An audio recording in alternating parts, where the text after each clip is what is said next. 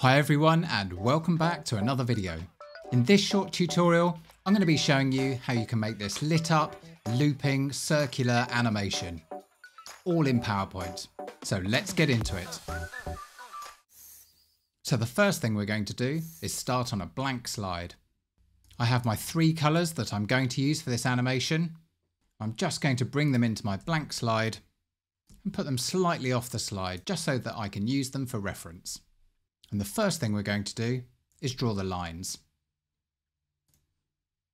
So I'll click line, click to reveal it, make sure it's straight. And I'm going to right click on it and choose format shape. Now I'm going to make sure that the line is 5 point wide and I'm also going to make it 10 centimeters. I'm now going to align it to the center and I'm going to go to the eyedropper tool and choose the color that I want. So for the lines that aren't lit up, it's going to be this dark red color. Now we're going to duplicate and rotate. So I'll press Ctrl D and I'll firstly rotate it by 90 degrees. Again, align it to the middle, Ctrl D again, and I'm going to rotate this by 45 degrees and align it to the middle and then Ctrl D on this one, and I'm going to rotate this by minus 45 degrees. Now finally align this to the middle, and this is the first part of our shape for this animation. I'm now going to select them all, Control G to group, Control D to duplicate, I'm going to align this to the middle, which is over the top at the moment, and then I'm going to hold down Shift, which actually locks the rotation into 15 degree increments. I'm going to control D again. And again, hold down shift to lock the rotation into 15 degree increments. So this is the first part of our shape. And in the next two steps, we're going to see this tutorial take shape. I'll right click, choose format background, solid fill, and eyedropper on the purple shape. I'm now going to click on oval and I'm going to make sure this is also the purple shape. And make sure it has no outline. And this is going to be 8 centimeters. We're going to align this to the center. So there we've made the base of this graphic. Now we're going to make the lit up sections.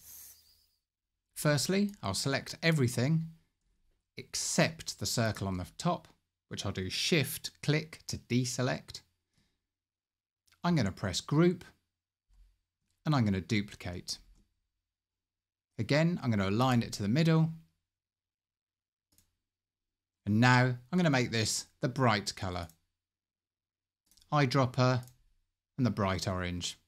We will need to get the purple circle back to the front, but before we do that, I'm just going to change some of these lines to give it the effect of the animating lights that we showed earlier. So I'm going to click once and then click a second time to select the line inside the group. And then I'm going to put this on 5% transparency. I'm going to put this one on 10% transparency. I'm going to put this one on 20, 30, and just carry on going till I get to the bottom. 40, 50, 60, 70, 80, 90 and then 95. Now we're going to send this to the back by right clicking send to back and then finally we're going to send this to back. This should give us the exact layer order we need. And for the last part, we're going to animate this. So I can delete my color references as we don't need them anymore. I can delete the slide they came from. And this is going to be the first slide in our animation. And when I press Ctrl D and go to slide 2, we're now going to click on this lit up section and again the magic part, hold down shift so it rotates by 15 degrees. We do need to make sure the transition is very quick though. So I'm going to give this something like 0.01 and then make sure that after is selected. So after the duration of 0.01, it will go to the next slide. Just going to zoom up the slides so you can see what we're dealing with here. Press Ctrl D again.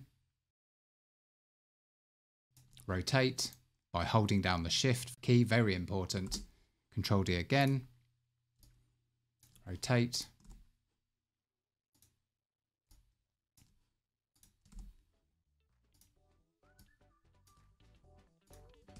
Control D, rotate. Just keep going till we get right to the end.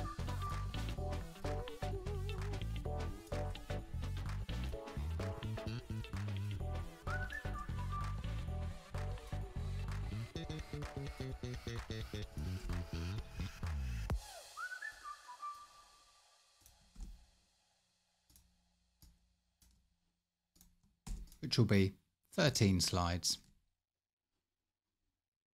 So now when we play it from the start, we'll get one cycle of the animation and then I'll show you how you can loop that. Looking good. So now we go to slideshow, we go set up slideshow and we choose loop continuously until escape and OK. And we just want to make sure that the very first slide there has got the after box ticked and that it's down to 0.01. So that'll match all the other slides. So now when we click play, excellent. The looping lit up circular animation, looking good. Finally, as a little bonus, just show you how you can easily export this to a video because at the moment it is 13 slides and there might be a case where you want to keep this as the animation and then export it to a video to use in your presentation a lot easier than having multiple slides. So we can go to File, we can go to Export, we can go to Create a Video, then we can choose the resolution. Anything over 1080p would be good, so either 1080p or 4K. And then you can say Create Video. I can just go to my desktop and call it Loading Loop Animation Start. Save. And now that's created an MP4 file that we can use easily and set up to loop in any presentation. So, hope you enjoyed the video. I think it's a great way of learning these little tips and tricks so you can make your own great looking animations in PowerPoint. Thanks very much, and I'll see you in the next video.